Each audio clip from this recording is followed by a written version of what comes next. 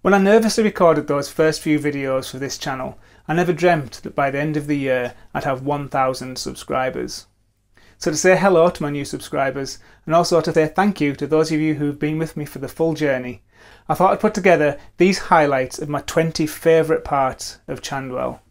So as you're watching these highlights, please let me know in the comments below, do you agree with the 20 I've chosen? Would you have chosen something else? I really appreciate all of your comments, so please do add one. So without further ado, let's go and we'll start at number 20, which is taking a look at the newest addition to Chandwell.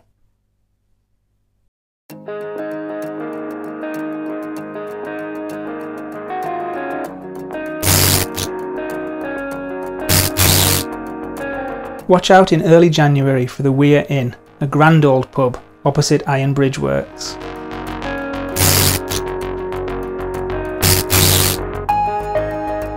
I just love this little arch as the viaduct disappears into Baker's Hill.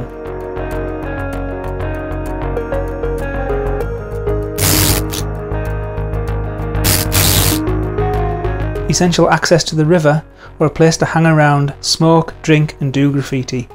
Whichever, these steps really add a sense of place.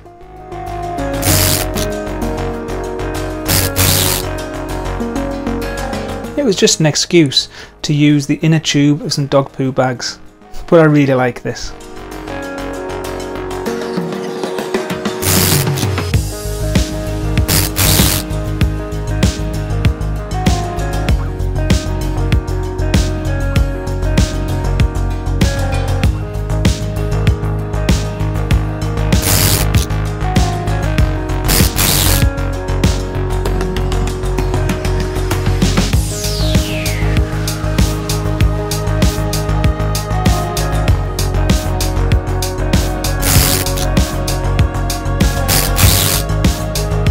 Chunkier of the two tunnels, King Edward's Tunnel has curved wing walls made from cornflake packet.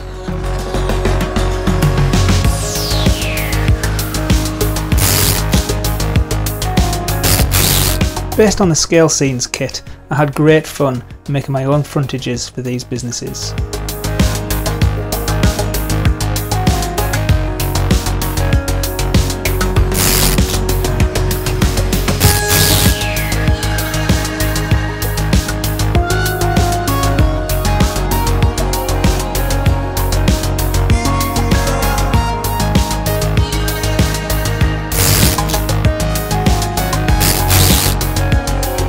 One of two skew arches in the viaduct. I had great fun making this wide arch and there are videos on my channel that show how I did it.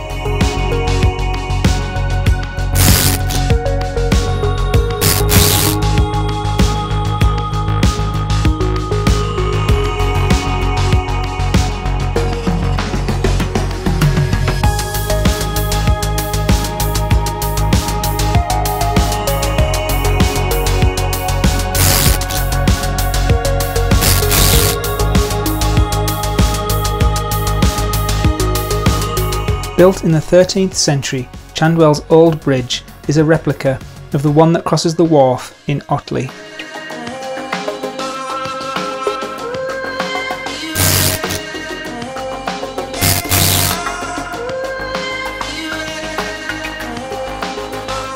With its low water and its stuck tree, Roberts Weir is based on one in Sheffield, and it's named after my friend who went down there to try and gauge its size when I was designing it.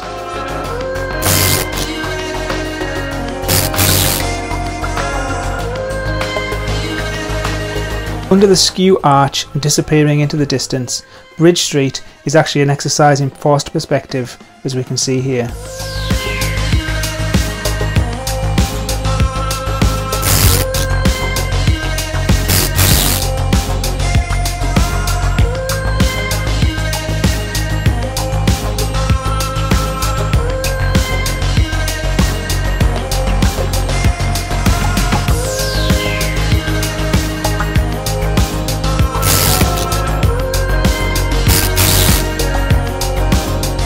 Made with nothing other than cornflake packet and multiple layers of textures, Charlotte Lane Bridge, covered in graffiti, is really evocative of the time and place that I'm trying to model.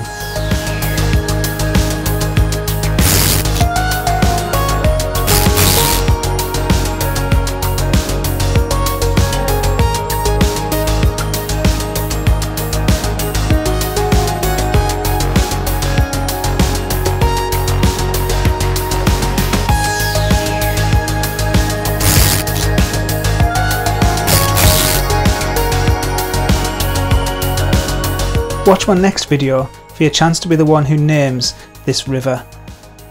Might be a good idea to subscribe if you haven't done already.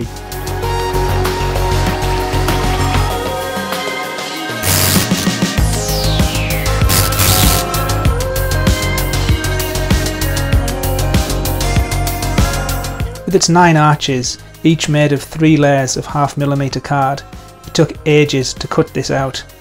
It was a real labour of love, but it's the most favourite part of Chandwell's Viaduct.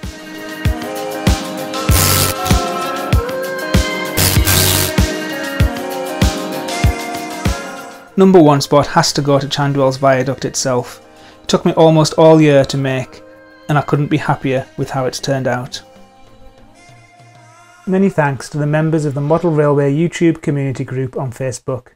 Your help and advice this past year has really helped me in the growing of my channel and the developing of my layout.